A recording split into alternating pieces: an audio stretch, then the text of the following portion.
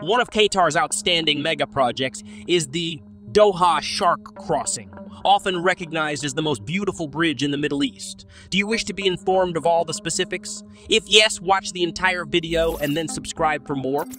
The blueprint for the Sharq Crossing, formerly known as the Doha Bay Crossing, was developed at the suggestion of the Ministry of Municipal Affairs and Urban Planning and was designed by the renowned Spanish architect Santiago Calatrava.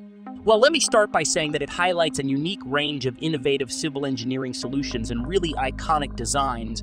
Yeah, Bridge, which has a series of above ground bends and below ground sitting areas, will undoubtedly provide drivers one of the most stunning experiences imaginable. The most impressive journey will be along the shore crossing with its linking bridges and Doha Bay. The government of Qatar is keen for the massive project to finally begin. A Czech Spanish architect and engineer first exhibited this idea back in 2011. As I've already mentioned, the grand idea for this massive bridge originally had the name Doha Bay Crossing, but the project is now known as Sharq Crossing. The budget proposal for 2020 from the Emirate of Qatar includes the whole cost of its development. It is mentioned that the decision to approve this multi billion dollar project shows that the country believes in its long term growth, especially since local construction companies will be tasked with obtaining new ventures as a result. Additionally, the project is expected to create thousands of new employment, both directly and indirectly. Did I mention that this massive project is for the World Cup infrastructure developments in 2022? However, the program's approval must be seen in light of Qatar's role as the 2022 FIFA World Cup host nation. It is debatable if the massive infrastructure project will be finished by then, the billion dollar Sharq crossing project will consist of three interconnected fractions via an underwater tunnel as prescribed in the initial draft, but the construction is expected to be finished in four years, which is not exactly a detailed announcement because, as you know, many factors will prevent its construction.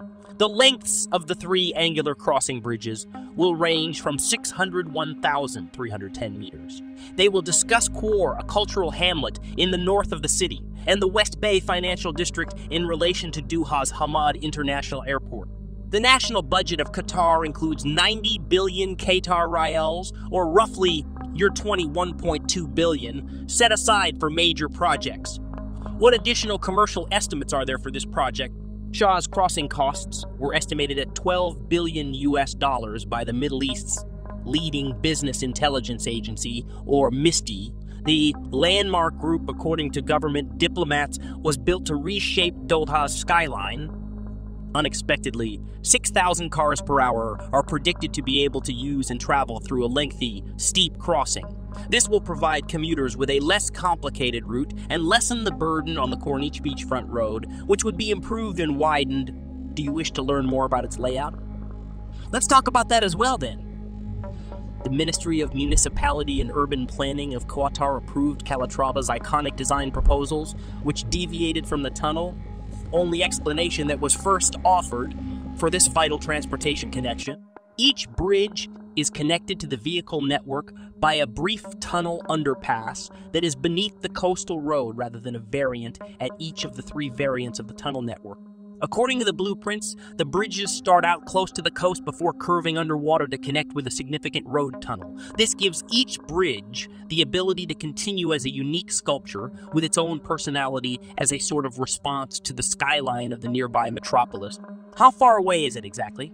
The overall life of the three bridges and two tunnels is around 12 kilometers long. While it appears in accordance with experts at the building firm Tunnel Engineering Consultants or TEAS that aid in undertaking preparation, as a challenging subterranean crossing, the marine interchange is particularly interesting.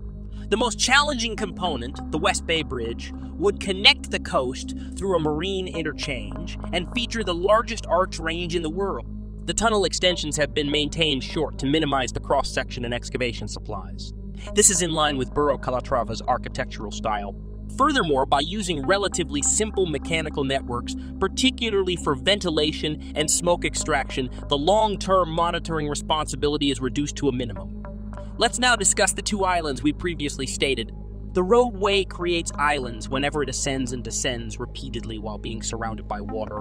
The eastern island has been enlarged to form a kind of belvedere with two elevated levels and roofs, providing space for a marina and a number of leisure activities. Allow me to fill you in on every specifics. The dual level Westgate Bridge will have platforms for parks and entertainment parks.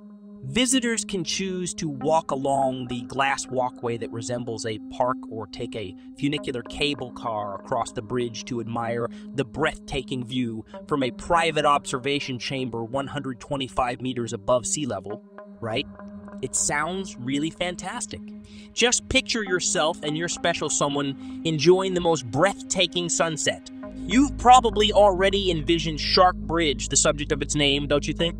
As a tubular structure that extends the inlet next to Doha's new airport, the all around project is imagined. As a result, visitors to the city may take in an outstanding first look at the skyline of downtown Doha.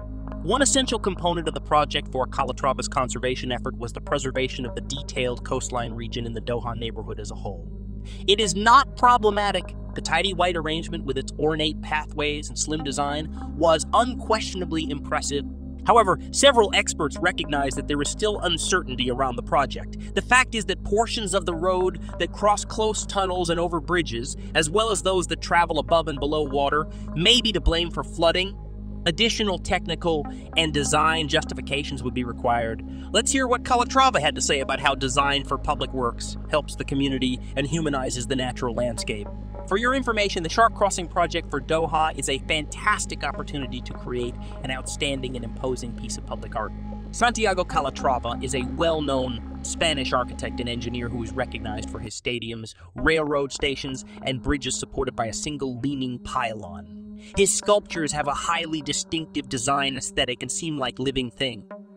This is the reason why the Calatrava downsized crossing design is so captivating and different from other infrastructure. Let's hear what the Qatari Public Works Authority president has to say about this crossing. In addition to adding a crucial new route to Doha's current road system, the Sharq Crossing is a technical marvel that will become a symbol for Qatar and be instantly recognizable throughout the globe. I want to let you know that Ashghal, a public works authority, was founded precisely 10 years ago to plan, design, secure, and construct Qatar's infrastructure and public construction endeavors. The inevitable has started to occur. Doha has started prioritizing the tasks it has to do in order to host the 2020 to FIFA World Cup and has begun delaying non essential infrastructure plans, it's possible that the action was first viewed negatively However, when Qatari endeavors resume their upward trajectory in 2015, this development should be viewed as a good. You know, understand why the bridge is regarded as one of Qatar's most important infrastructure projects and is considered to be a key hub for the nation's main highway. One more thing regarding this enormous endeavor, please. Numerous routes between Ras Abu Aboud Stadium and Marseille Stadium and Marseille Stadium will be connected by the acute crossover. This will make getting to Qatar quite simple that demonstrates how crucial this bridge is, right? There you have it for today. What do you believe of it? Please provide your feedback in the box below. Click on these videos to watch about other amazing projects.